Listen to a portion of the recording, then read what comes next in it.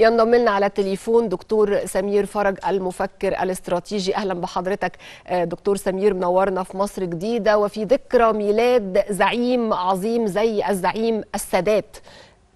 في رأي دكتور سمير فرج أين تكمن عبقرية السادات؟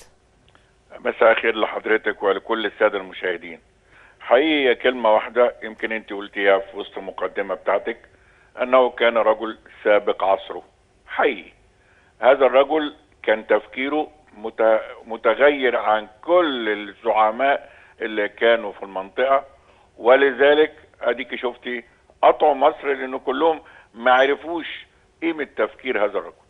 هذا الرجل تسلم مصر وهي محتلة الظروف الاقتصاديه سيئة كل الاقتصاد المصري موجه للحرب وللجيش واتخذ قرار الحرب. اتخاذ قرار الحرب ده بيعتبر من أهم قرارات السادات في حياته لأن لو كانت الحرب فشلت كان معروف النهائي من غير ما نتكلم. فاللي بيتخذ قرار زي ده بيبقى عارف يا يمين يا شمال. اتخذ قرار الحرب ونجح فيه وربنا وفقنا بيه. وقبل ما بيتخذ قرار الحرب يعني دايما الناس تقول هو صاحب قرار الحرب والسلام. أنا دايما بقول لأ ده في قرار تاني كان في رأيي يساوي قرار الحرب وهو عندما طرد الخبراء الروس من مصر. هذا القرار له عدة أسباب ونجاحات كبيرة. أولا لو كانوا قعدوا كانوا قالوا ده الخبراء الروس هم اللي خططوا الحرب وهم اللي حاربوا وهم اللي طلعوا وزي ما قعدوا يقولوا دي تمثيلية والكلام ده كله. الحاجة الثانية طرد الخبراء الروس دي كانت أحد العناصر التي كانت نقول إيه آه مفاجأة آه للحرب. وأحد العناصر اللي حققت مفاجأة لإسرائيل في الحرب لأن في لما قعد مع قيادات القوات المسلحة في يوليو في عند التخطيط للحرب فاتفقوا إنه هيبعت حافظ إسماعيل مندوبه إلى أو مستشاره الأمن القومي إلى أمريكا ويتقال له أديك شفت إحنا مش هنحارب ومش هنقدر ودي إحنا طردنا الخبراء الروس الروس ما ادوناش السلاح الهجومي فبالتالي شوف لك حل. ومن هنا جاء اقتناع كيسنجر بأن السادات عمل إيه؟ bluffing نقول يعني لف عليه وأقنعه إن إحنا مش هنحارب.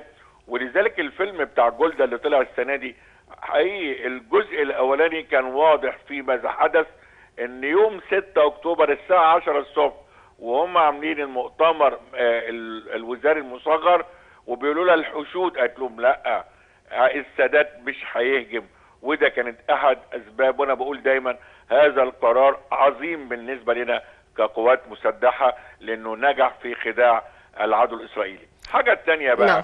اللي أنا بعتبرها وهو قرار السلم وان راح إسرائيل ده كان فوق التوقعات. والحاجة اللي إحنا عايشينها النهارده وبنندم عليها.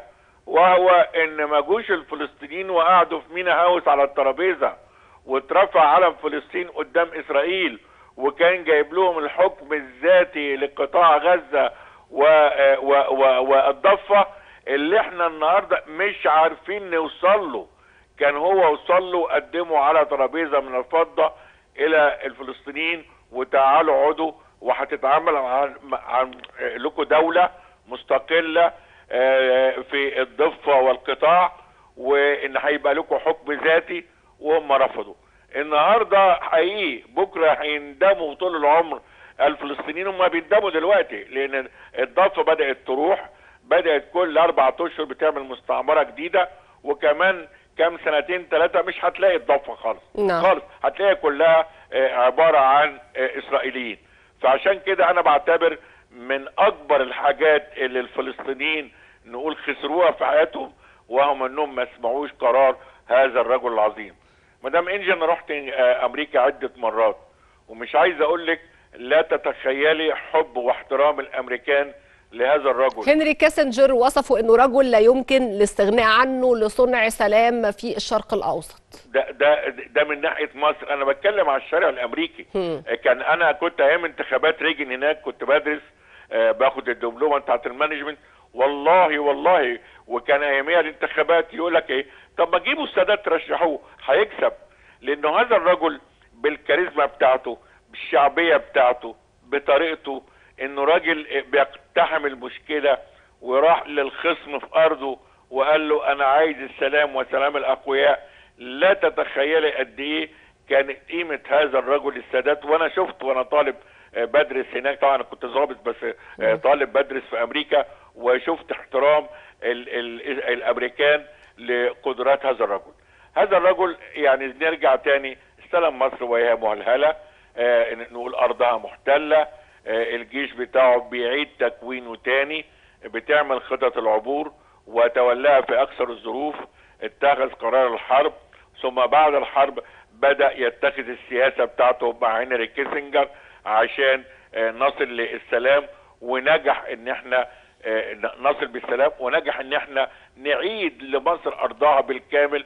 كان طبعا عدا مشكلة طابة اللي هم كام كيلو دولت واللي الرئيس مبارك خلصها لكن حقيقي التاريخ في يوم من الأيام لن يظلم هذا الرجل وهيديله حقه إنه كان سياسي قائد عظيم أدى دور عظيم في تاريخ مصر. والعالم العربي وزي ما حضرتك قلت في المقدمة كل الناس اللي هاجموه قبل كده رجعوا أو انتقدوا زي مين؟ مين اللي انتقده ورجع قال لك كان على حق؟ هنقول هنقول كل وزراء الخارجية اللي كانوا معاه وزير الخارجيه سابه في كامب ديفيد ورجع مصر قال له مش موافق معاك فالناس بقول لك هو راجل كان سابق عصره كان حتى هيكل اللي كتب عليه خليفة الغضب وكل الكلام ده في الآخر وأنا قعدت مع هيكل وإحنا أيام المجلس العسكري وكنا من بندردش في اوضاع وقال فعلا السادات كان يعني رجل دولة وأنا غلطت في يوم من الأيام لما أنا هاجمته ولكن انت عارف النفس البشرية لما يعتقل وكلام من ده. انما حقيقي هذا الرجل مصر مش هتعوضه. وأنا مرة في حوار مع سياده الرئيس قلت ربنا بيكرمنا دايما بزعماء مصر عظيمين. قلنا عبد الناصر كان عظيم السادات عظيم مبارك أيضا عظيم. ودي إحنا مع السيسي راجل عظيم. فان شاء الله ربنا يكرم مصر بقادة زي السادات دايما ينور بصيرتهم خاصة وإحنا في فترة حالكة زي ما كنا فيها سنة 67 لكن إحنا النهاردة بنترحم على روح هذا الرجل القائد العظيم الذي هو كان سابق عصره. ورغم إن كل الدول العربية حربتنا وخدت مننا الجامعة العربية ودتها تونس وكان هناك نقول إيه عدم تعامل كامل معانا. أنا كنت طالب بقى في المرة الأولانية أيام الفترة دي في إنجلترا وكنت بشوف العرب وهم بيهاجمونا وبيهاجموا السادات لأنه عمل اتفاقية السلام. لكن النهارده شوفي مين الدولة الوحيدة من الثلاثه اللي خدت أرضها؟ هي مصر. إحنا خدنا أرضنا بالكامل ما فيش فتفوتة ناقصة. النهارده الضفة الغربية اللي كانت مع الأردن ما زالت محتلة بإسرائيل. آه الجولان ما زالت محتلة.